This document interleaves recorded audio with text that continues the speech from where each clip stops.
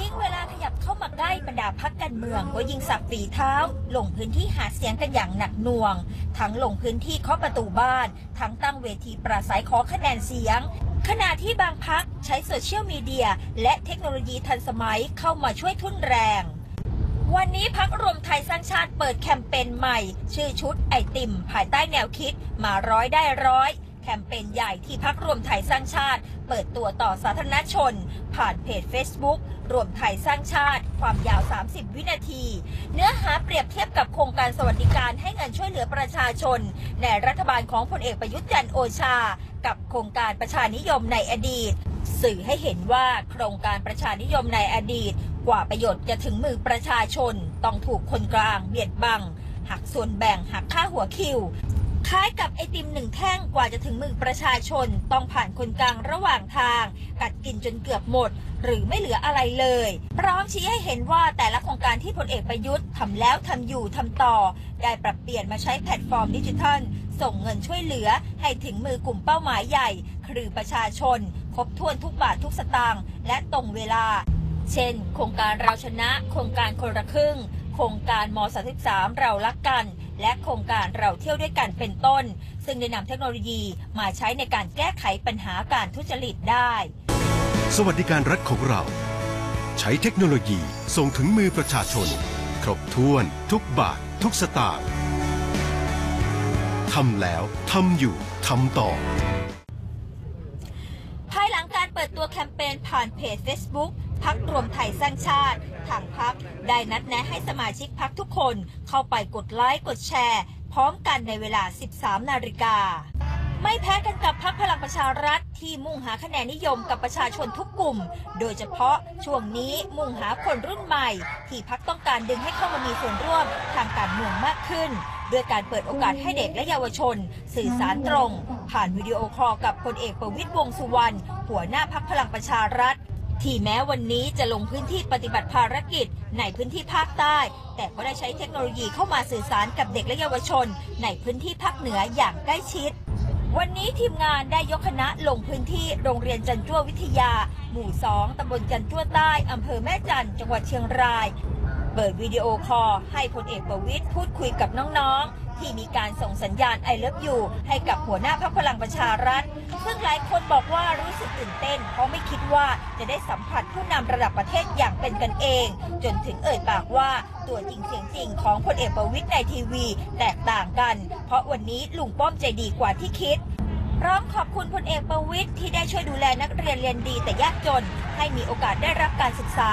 ยืนยันว่าจะเป็นคนดี และก้าวข้ามความขัดแย้ง ตามแนวทางของหัวหน้าพักพลังประชารัฐ พร้อมขอให้พลเอกประวิตยมีสุขภาพแข็งแรง เตรียมพร้อมทำหน้าที่นายกรัฐมนตรี เพื่อเข้ามาพัฒนาประเทศ และอำเภอแม่จันด้วยโดยโดยกบอกลุงป้อมนะคะว่า ให้ลุงป้อมสู้ๆแล้วก็มีสุขภาพร่างกายแข็งแรงนะคะ อ่าพูดเลยลูกอะอยากพูดลูกสวัสดีค่ะก็ก็ขอให้ลุงป้อมสุขภาพแข็งแรงนะคะ แล้วก็อยากให้ลุงป้อมนะคะมอบสิ่งดีๆให้กับโรงเรียนพวกหนูด้วยนะคะ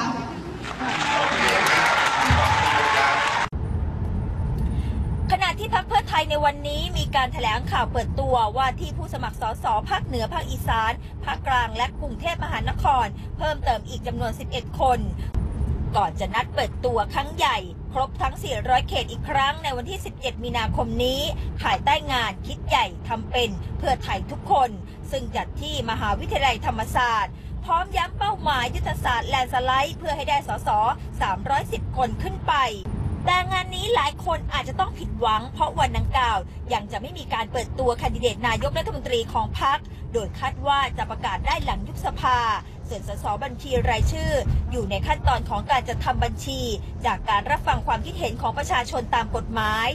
โดยไม่ยืนยันว่าจะปรากฏชื่อของนางสาวแพทองทานชินวัตรและนายเศรษฐาทวีสิน ผู้ที่ถูกคาดการณ์ว่าจะเป็นแคนดิเดตนายกรัฐมนตรีของพรรคเพื่อไทย อยู่ในบัญชีรายชื่อด้วยหรือไม่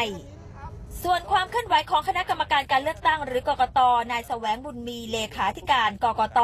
ลงนามในหนังสือแจ้งไปยังหัวหน้าพักการเมืองทุกพักให้ควบคุมและกำกับดูแลมิให้สมาชิกทำการฝ่าฝืนกฎหมายการเลือกตั้ง โดยเฉพาะห้ามมิให้มีการนำสถาบันพระมหากษัตริย์ มาเกี่ยวข้องกับการหาเสียง ทั้งนี้หากกรรมการบริหารพักการเมืองใดไม่ปฏิบัติตาม นายทะเบียนพักการเมืองจะเสนอให้กกตพิจารณามีคำสั่งให้คณะกรรมการบริหารพักชุดนั้นพ้นจากตำแหน่งหน้าที่ทั้งคณะ และห้ามมิให้ดำรงตำแหน่งใดทางการเมือง เป็นเวลา 20 ปี นับแต่วันที่พ้นจากตำแหน่ง นอกจากนี้เลขาธิการกกตยังได้ลงนามหนังสือ ถึงหัวหน้าพักรวมไทยสร้างชาติ ระบุถึงคำปราศัยของนายไตรรงสุวรรณคีรี ที่จังหวัดนครราชสีมาเมื่อวันที่ 25 กุมภาพันธ์ 2566 โดยช่วงหนึ่ง ได้มีการนำสถาบันพระมหากษัตริย์ มาใช้ในการหาเสียงเลือกตั้ง ซึ่งถือว่าเป็นการกระทำที่อาจฝ่าฝืนระเบียบกกต จึงขอให้ควบคุมและกำกับดูแลมิให้นายแต่รงกระทำการเป็นอันฝ่าฝืน รัฐธรรมนูญ กฎหมายข้อบังคับ รวมถึงระเบียบและประกาศของกกตอีก ทีมข่าวการเมืองทีนเอ็นช่อง 16 รายงาน